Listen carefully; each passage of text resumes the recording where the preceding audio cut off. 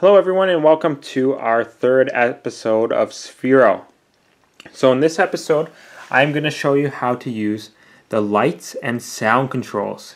So where I like to use these two controls is at the corners while I'm doing the delay while Sphero is turning.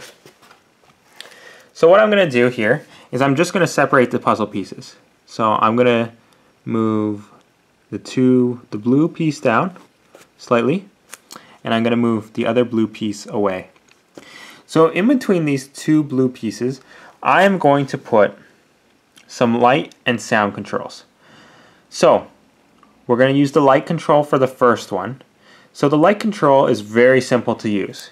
So I can choose to change the lights of Sphero from blue to a different solid color right here.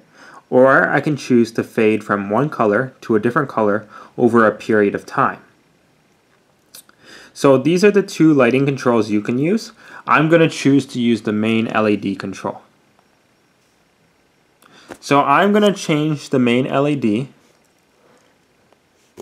to a pinkish red when Sphero reaches the first corner of the track. Now I'm going to connect the two puzzle pieces back underneath so that Sphero can continue his journey. And underneath that, I'm going to connect a sound control. So Sphero can play some sounds. It'll come out of the iPad if your iPad speakers are on. So with this one, you can choose a random sound. And with this sound piece, I can speak and then Sphero will say something and then wait. So I'm going to put hi and then wait. So now what I'm going to do is I'm going to connect the other puzzle pieces underneath and that adds um, a little bit of style and creativity to your program.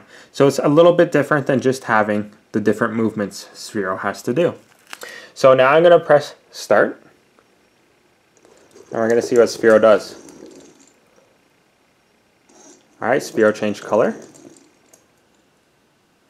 Hi. Alright, so I heard the iPad say hi, and then Sphero got to the end of the track.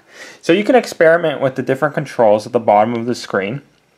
So that was just light and sound controls.